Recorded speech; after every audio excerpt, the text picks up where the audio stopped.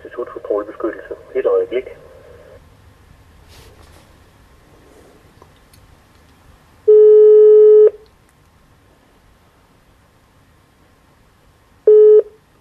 Vibeke Elton.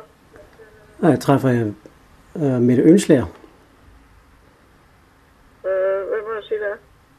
Du må sige, det er Henrik Eriksson. Jeg vil dreje sig om. Spørgsmål angående elektromagnetisk stråling. Okay, jeg tror ikke, det er os, men lige et øjeblik. Elektromagnetisk stråling.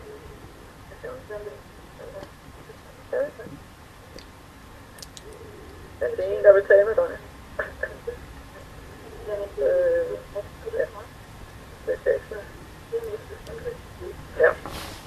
Hallo, er det muligt at sende en mail med et spørgsmål? Øh, det er det vel, men er det, er det slet ikke muligt at træffe Mette Ønslager til et simpelt spørgsmål? Nej. Ikke, ikke på den måde der, nej. Hun kan have en mail med, med spørgsmål. Okay. Det drejer sig om, om hvorvidt... sende den til vores sidste postkasse.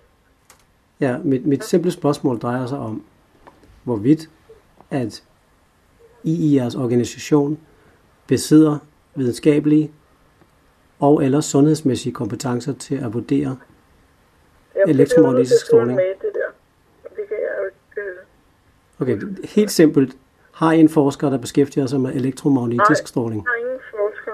Og Okay, så hvis jeg sender en henvendelse, hvordan bliver den så behandlet?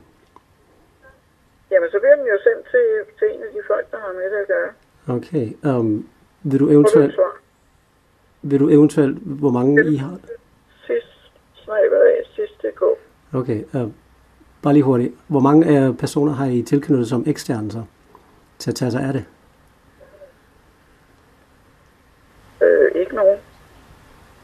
Det vil sige, I har ikke nogen konsulenter, som I... Hvordan, Nej.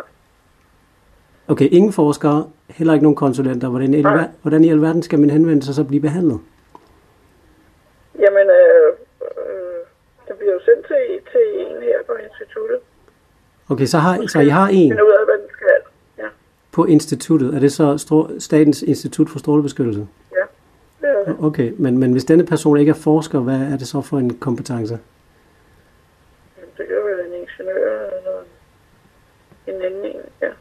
Okay, men, men, men ikke med speciale i elektromagnetisk stråling? Nej, den der har vi ikke nogen af.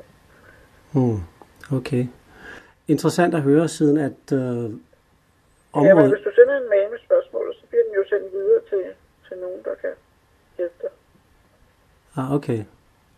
Men, men okay, det, det er svært at få tillid til, at I kan hjælpe mig efter den her samtale. Men øh, jeg, forsøger, jeg forsøger mig med en Ja, e-mail. så. det kommer an på, hvad det er, du vil vide. Ja. Det er om sundhedsmæssige aspekter ved eksponering for Ja. elektromagnetiske felter. Og det er tilfældigvis en eksponering, som rammer hele befolkningen i form af trådløs kommunikation, hvis det skulle være undgået jeres opmærksomhed. Nå, det er det nok ikke. Nej, vel? Nej.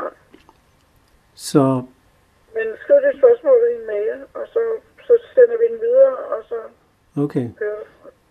Så, så jeg kan forstå, at der er ikke nogen i jeres institut. er der nogle andre, der skal svare. Så, Så der er ikke nogen i jeres, der er ikke nogen i jeres institut, der, der følger med i den videnskabelige udvikling på det område. aner det ikke, hvis jeg skal være helt ærlig. Okay. Så Okay, tak for din uh, tid. ja,